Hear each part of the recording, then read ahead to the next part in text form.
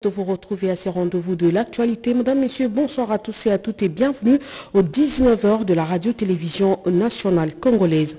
Le président de la République, Félix-Antoine Tshisekedi Chilombo, a signé une série d'ordonnances. Celle-ci euh, porte sur l'admission à l'émirata de secrétaires généraux de l'administration euh, publique, la mesure collective de grâce de la mise à la retraite et l'admission à l'honorariat des agents de carrière de ces service public de l'État ordonnance élue sur la radio-télévision nationale euh, congolaise. Nous y reviendrons dans nos prochaines éditions. Et hier, à la cité de l'Union africaine, Félix Antoine Tshisekedi Chulombo a tenu ou a présidé la toute dernière réunion du Conseil de ministres pour cette année 2022, réunion à laquelle a pris part euh, les membres du gouvernement, sauf le démissionnaire. Voici un extrait avec Patrick Mouyaya.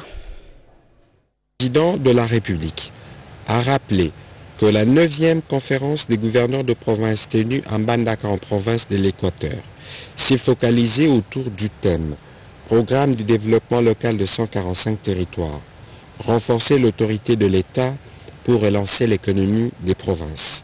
Les travaux ont été orientés sur la place et les rôles des provinces dans les dispositifs institutionnels de la mise en œuvre du programme de développement local de 145 territoires, en vue de produire des solutions adéquates, susceptibles d'établir des synergies nécessaires entre le PDL 145 territoires et les programmes provinciaux de développement. À ces sujets, le président de la République a insisté sur la nécessité pour les responsables des exécutifs provinciaux de s'impliquer dans la matérialisation de ce programme en vue de relancer les économies locales cette implication devra se faire dans le cadre du suivi à effectuer dans la mise en œuvre du dit programme. Et le président de la République, Félix-Antoine Tshisekedi Chulombo, est annoncé demain à Mbujimaï, où va passer le réveillon de nouvelles en 2023. Sur place, le préparatif se porte bien. C'est tout Mbujimaï qui est dans la fière confirme une délégation de la présidence qui se trouve déjà sur place. Regardez. Nous sommes au rond dans la province du Kassa oriental. Unanimement, la population est mobilisée pour accueillir le président de la République, Félix Antoine Tshisekedi Chilombo, qui arrive pour la troisième fois dans cette partie du pays, déjà ce vendredi 30 décembre 2022. On rappelle, le président de la République arrive dans cette partie du pays pour la troisième fois. Il faut savoir qu'après son itinérance en décembre 2021, le président de la République était ici encore en octobre euh, dernier pour le forum Makutano. Déjà, tout le monde est debout. Tout de suite, vous allez suivre le point de vue de la population qui est contente d'accueillir le fils du terroir qui arrive pour la troisième fois dans cette partie du pays. Son arrivée fera la joie et nous sommes toujours satisfaits parce que lorsque le président vient ici, vient pour contrôler autre chose.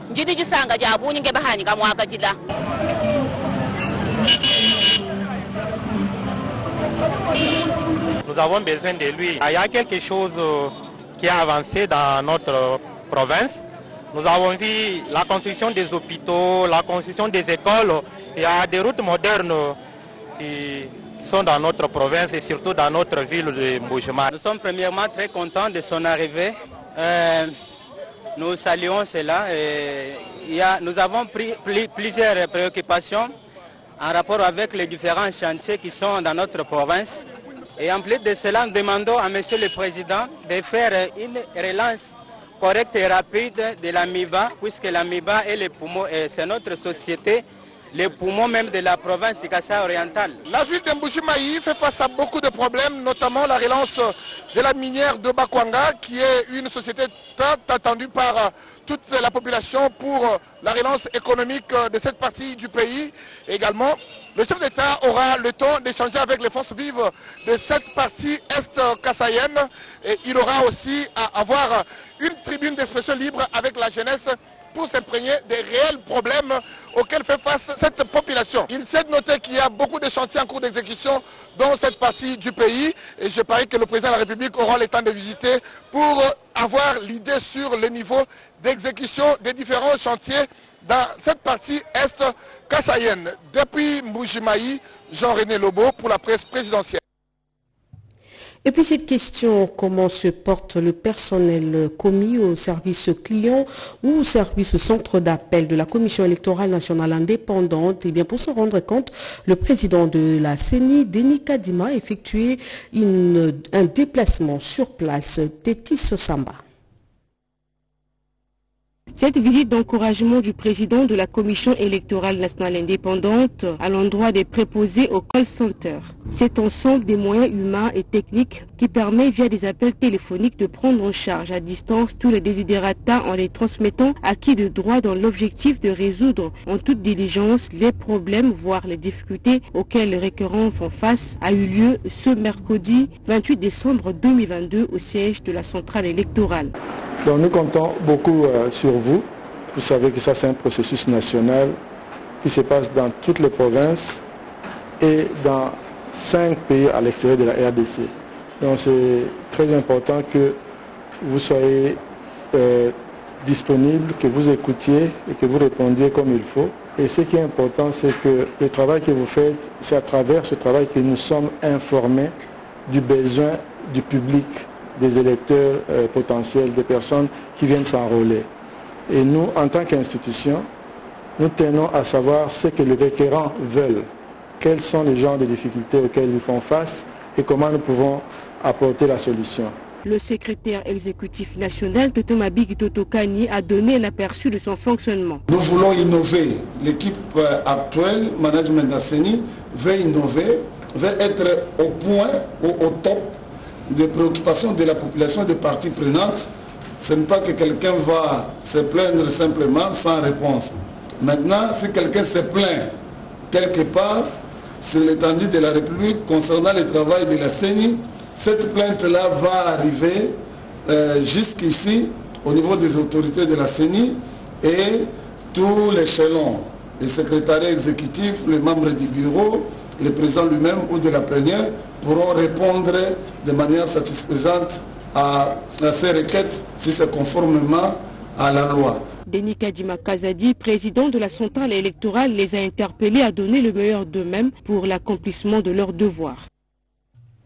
Et de vivre et non vivre remis aux sinistrés de dernières pluies abattues à Kinshasa, un don de l'entreprise sino-congolaise remis au ministre des Affaires humanitaires. Regardez. Des vivres et non-vivres pour le sinistré de la dernière pluie diluvienne. Une importante délégation des associations des entreprises chinoises œuvrant dans les secteurs de mines s'est rendue ce mardi au ministère des Affaires sociales, Solidarité et Action humanitaire. Une façon de répondre favorablement à l'appel lancé par le président de la République, Félix-Antoine Tshisekedi Chilombo. Appel à la solidarité envers les personnes et de familles en difficulté à la suite de dégâts matériels et humains dus aux récentes pluies qui s'est abattues à Kinshasa. En revanche, le ministre Modeste Moutinga se félicite de ces gestes. Cette délégation fait ses dons dans le cadre du partenariat privilégié entre la RDC et la Chine. Cet appel a été entendu aussi au-delà des frontières nationales. Cet appel a été entendu en Europe, en Asie. L'exemple de la Chine euh, est éloquente parce qu'elle vient de nous apporter 35 000 tonnes de riz, 35 000 tonnes de la farine et 6 000 tonnes de, de Un geste en pareille circonstance témoigne de l'amitié profonde qui lie nos deux peuples euh, pour deux pays qui ont 100 ans de relations diplomatiques ont été présents à cette cérémonie haute en facture le chargé d'affaires à l'ambassade de Chine en RDC, la Croix-Rouge, ainsi que bien d'autres invités qui vivent l'amitié sino-congolaise. Vous avez reconnu avec moi le timbre vocal de Chimène Dondo dans ce reportage. La levée de l'embargo euh, sur l'achat des armes par la communauté internationale est une victoire euh, diplomatique de la RDC euh, sous le leadership du président de la République, Félix-Antoine Tshisekedi Chilombo, une mesure saluée par la SBL Génération Christophe Lutundula qui y a exhorté également la population à s'enrôler pour offrir au président de la République un second mandat Dienne Balakaina Vote qui a fait l'unanimité entre membres du Conseil de sécurité des Nations Unies. La résolution 2667 levant la mesure de notification sur l'achat d'armes et matériel militaire en vertu du régime des sanctions 1533 ne constitue plus un blocage pour la RDC, une levée de mesures saluée par l'ASBL Génération Christophe Lutundula. Malgré la restriction d'hier, celles-ci n'ont pas empêché nos vaillants soldats de faire preuve de bravoure sur le terrain jusqu'à déboulonner le M23 en 2013 et c'est encore possible sous le leadership de Félix-Antoine Tshisekedi Chilombo. La levée de cet embargo, estime la génération Christophe Lutundula, c'est un échec pour le Rwanda et une victoire diplomatique de plus pour la RDC. Le 20 décembre de cette année, l'ONU permet enfin l'exportation d'armes sans notification vers la RDC. Une victoire diplomatique pour la République démocratique du Congo. L'actualité oblige, la GCL invite également la population à un enrôlement massif pour offrir au président de la République, Félix Antoine Tshisekedi Chilombo, un second mandat et surtout une majorité confortable et écrasante au Parlement. Poursuite de la campagne Sauvons les Congo 2 du mouvement de réveil de la jeunesse, John Bayantita, son initiateur, a rencontré un autre groupe de jeunes des églises de Kinshasa qu'il appelle à s'enrôler massivement à l'armée. Suivez.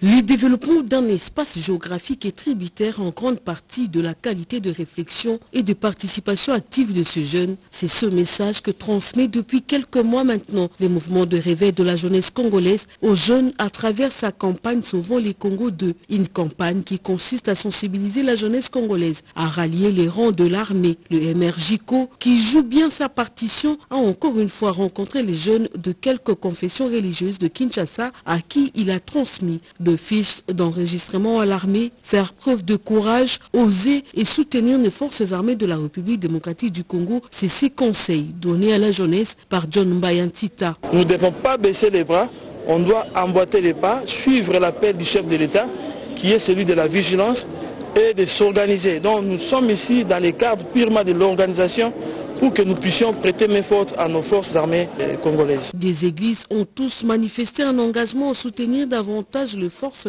les FRDC, les MRJCO inscrit son activité seront les Congo 2 dans le cadre de l'appel du chef de l'État aux Congolais à soutenir les FARDC. Dissuader et rassurer ont été le mot d'ordre du numéro 1 de la police nationale euh, congolaise ville-province Kinshasa lors d'une parade hier au stade de Martyr pour euh, se préparer à des éventuels actes de banditisme en cette période de fin d'année. Un dispositif euh, policier a été renforcé dans tout le coin de la ville, nous dit Edith Chala. Les festivités de fin d'année sont toujours une période mouvementée et les forces obscures profitent pour imposer à certains une fin d'année morose par le vol, les raquettes et autres braquages. Le commandant de la police nationale ville de Kinshasa, le général Silvano Kassongo a réuni les commandants des grandes unités de sa juridiction. La Légion nationale d'intervention LENI, l'unité de protection des institutions et autres personnalités, la police des circulations routières et les commissariats urbains étaient tous en face du commissaire divisionnaire adjoint et commandant de la police nationale ville de Kinshasa, Silvano Kassongo, pour des directives relatives à la bonne tenue des fêtes de fin d'année. Nous allons faire tout pour qu'il n'y ait pas d'embouteillage. Et la nuit, il y aura des patrouilles mixtes, que ce soit de la police et celle de la 14e région militaire, pour qu'il y ait la quiétude. Nous, nous sommes conseillés, c'est que nous serons tous sur la population doit collaborer, et doit aussi appeler la police. Les numéros de prévenance, vous les connaissez. Ce conseil du commissariat provincial, c'est le 09 0 0 0 49 09 09 0 0 0 49 09. Ça, c'est le numéro de la permanence du commissariat provincial. Quand vous appelez à tout moment, il y, a, il y, aura un répondant qui va appeler les unités qui sont sur le terrain, qui sont déployées, pour que les délais d'intervention soient euh, courts. Cette parade est toujours l'occasion de donner des instructions aux commandants des grandes unités pour que les personnes et leurs biens soient protégés. Sachez également que le président de la Chambre de commerce investissement Congo d'abord se réjouit du rétablissement de l'un de ses membres dans ce droit dans une affaire de spoliation par un groupe de présumés expatriés de l'un de ses propriétés. On fait le point avec Gaïta Magalano. C'est plus qu'un devoir pour le président de la Chambre de commerce Investissement Congo d'abord de réconforter l'un de ses membres, Kinwani, qui a échappé à un complot d'assassinat orchestré par une bande de criminels. Notre combat de l'IVCD Investissement Congo d'abord, c'est pour défendre les hommes et femmes d'affaires congolais. Le week-end dernier, ces criminels auraient escaladé le mur de sa propriété maîtrisé. C'est à la justice qu'ils passeront aux aveux de leurs crimes ratés.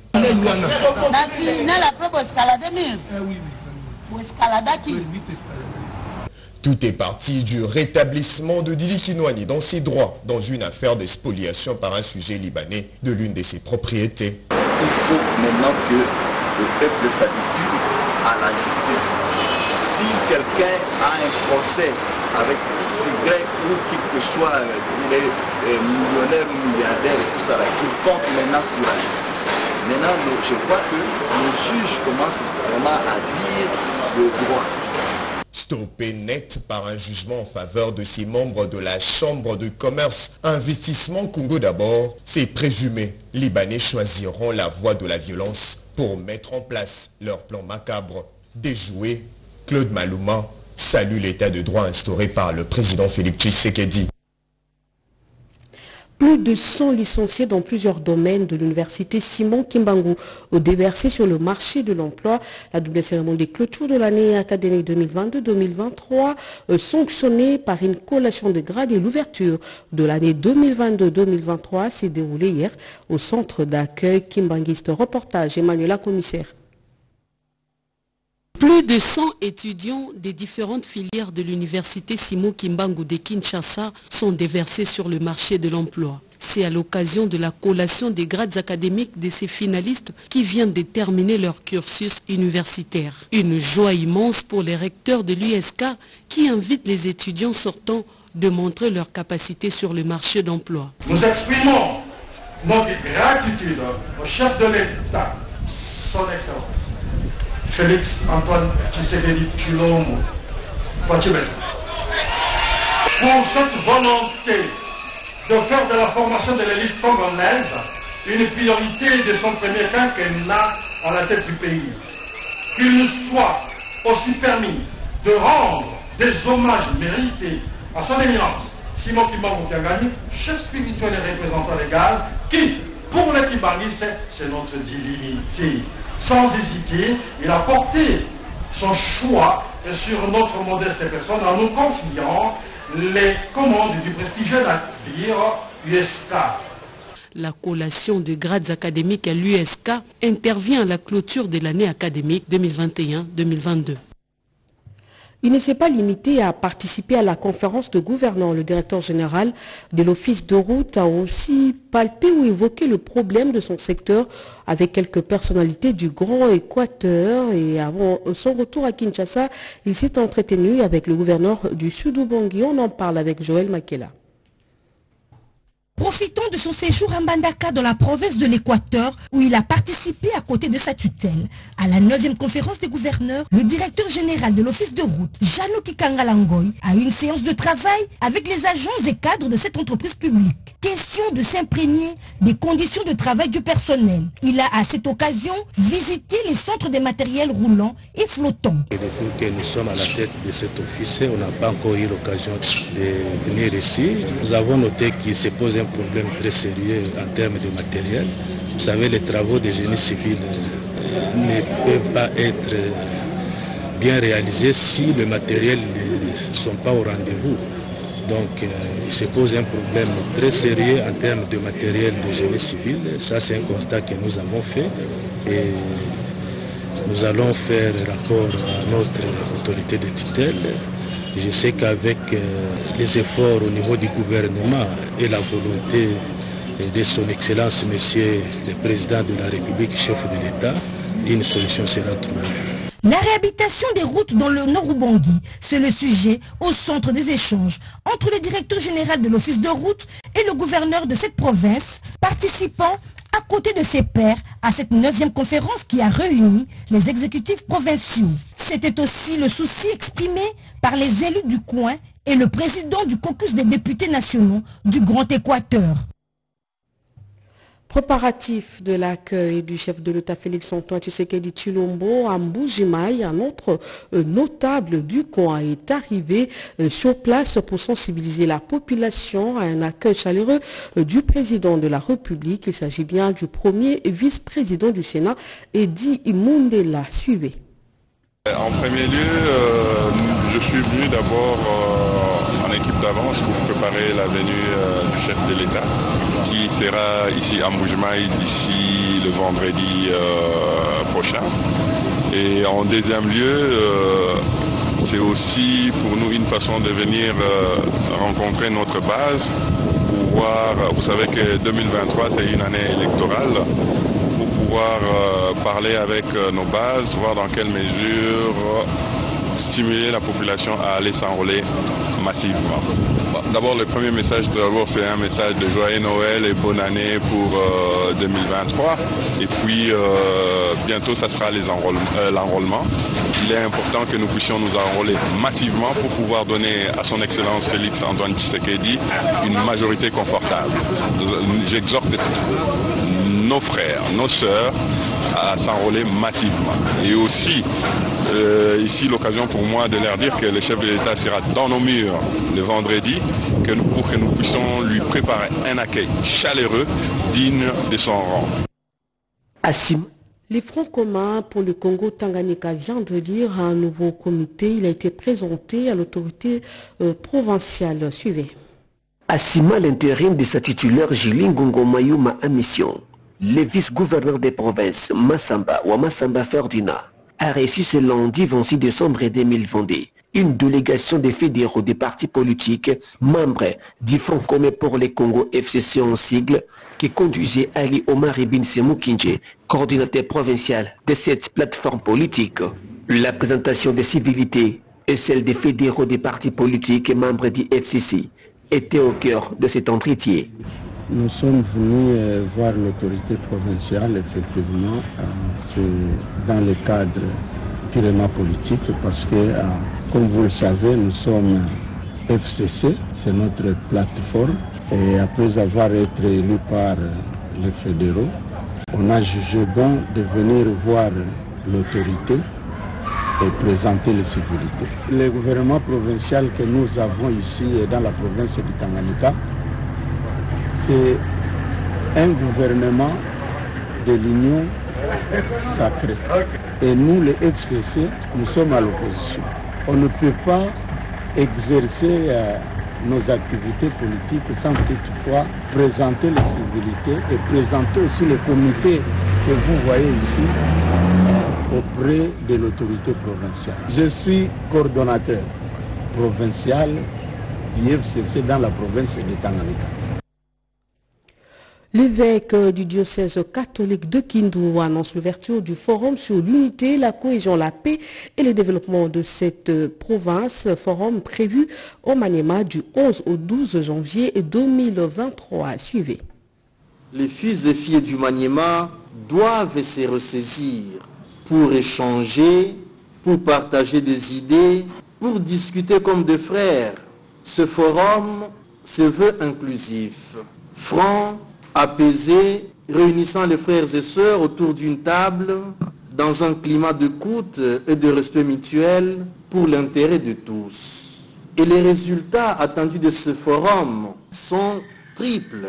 Primo, que la réconciliation et la cohésion entre les fils et filles du Maniema soient observées. Secundo, un cahier de charges pour le développement et l'émergence du Maniema soit dressé et qu'un comité de suivi soit mis en place.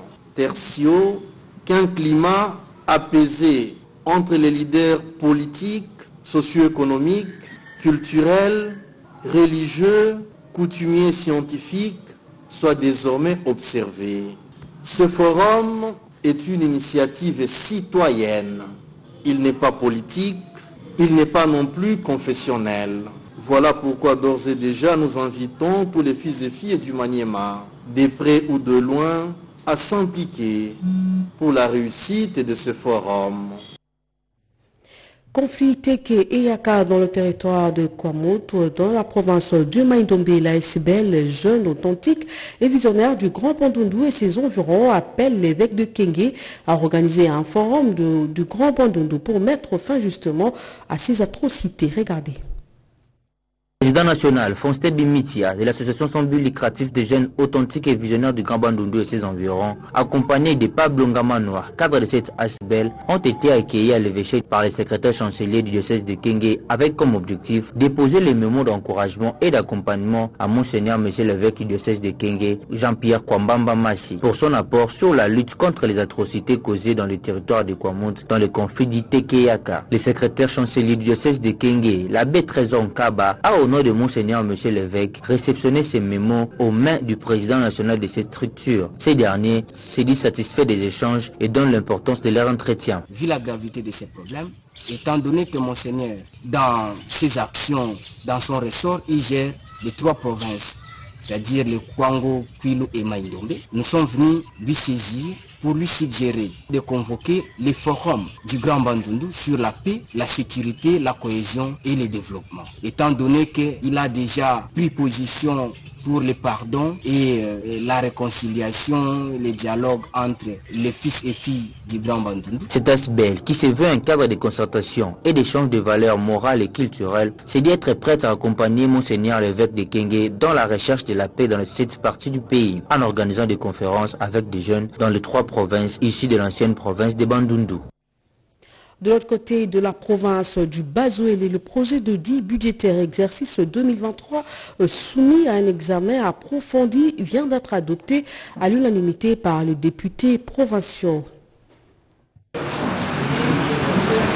Estimé à francs congolais 250 milliards 777 millions 923 211,48 centimes équilibré en recettes et en dépenses, le projet de 10 budgétaire exercice 2023 de la province d'Ibazuélé a été approuvé par le député provincial. Le projet 10 portant budget de la province d'Ibazuélé pour l'exercice 2023 est déclaré recevable.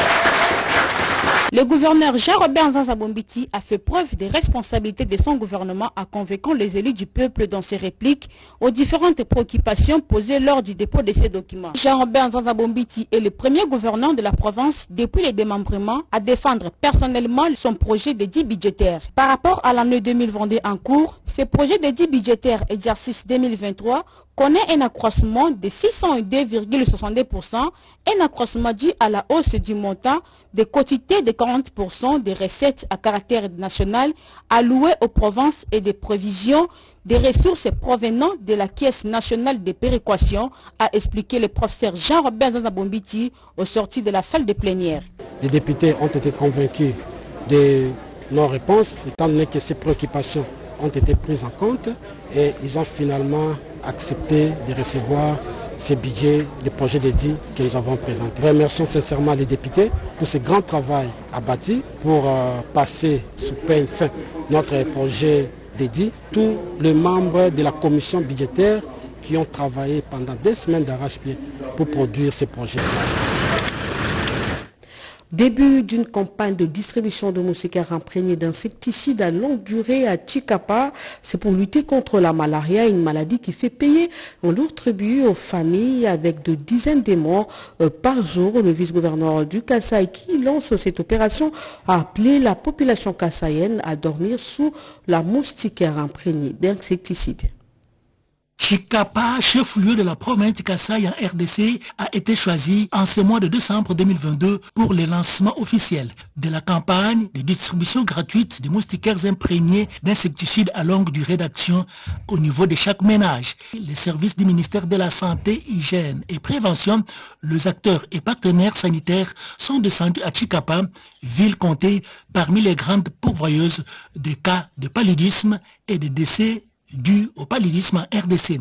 Le gouverneur intérimaire de la province du Kassai, Gaston Collet, a présidé la cérémonie en encourageant sa population à la bonne utilisation de ces moustiquaires imprégnés d'insecticides. Avec cette stratégie, nous contribuons équitablement à la survie de la population de notre province, particulièrement les catégories les plus vulnérables que sont les enfants de moins de 5 ans et les femmes enceintes. Le directeur du programme national de lutte contre le paludisme, Eric Sompoué, a épinglé certains aspects qui ont empêché le déroulement de cette campagne, conformément au calendrier au niveau de Chicapa. Entre autres, la pandémie de Covid-19 survenue en 2020 qui a bouleversé le trafic international avec impact sur la production de moustiquaires imprégnés. L'utilité de la moustiquaire imprégnée n'est pas à démontrer. Nous sommes professionnels de santé. Nous invitons nos ménages à utiliser euh, cette moustiquaire imprégnée. Juste après, le gouverneur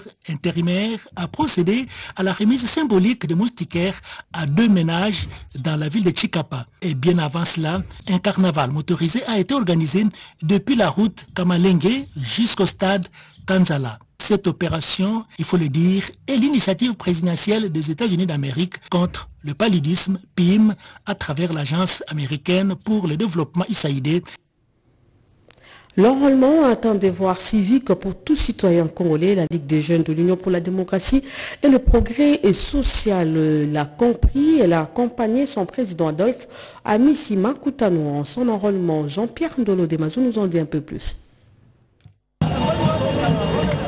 Très motivé et déterminé pour donner la majorité écrasante au président de la République, Félix Antoine Tshisekedi Chilombo, la jeunesse de l'UDPS est venue accompagner son leader Adolphe Amissi Makutano afin d'accomplir son devoir patriotique celui de s'enrôler et d'avoir la carte qui va lui permettre de voter en 2023. Après s'être enrôlé, le premier jeune du parti présidentiel a sensibilisé la population congolaise, ce à travers les militants de l'UDPS, à se faire enrôler massivement pour faire un choix judicieux aux prochaines élections. Nous avons compris comment le président de la République, tout au long de ce mandat, a beaucoup souffert. Il était important pour nous en tant qu'enfant de la maison, de se rebiffer et de prendre une décision idoine.